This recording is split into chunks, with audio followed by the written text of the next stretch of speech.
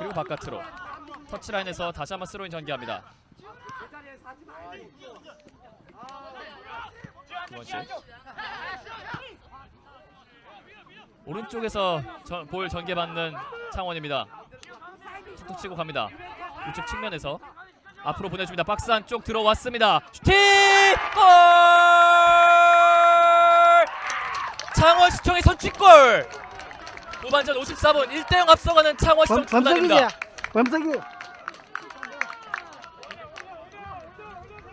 어, 굉장히 이번에 한 번에 좋은 공격을 보여줬습니다. 창원시청 득점까지 성공시켰던 창원시청 축구단.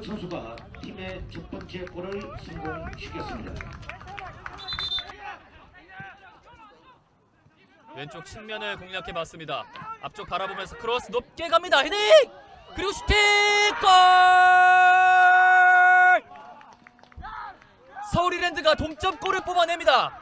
후반전 72분 1대1 동점을 만드는 서울 이랜드입니다. FC 39번 교체 투입됐던 정성호가 동점골을 뽑아냅니다. 정정용 감독은 교체 카드가 적중했습니다.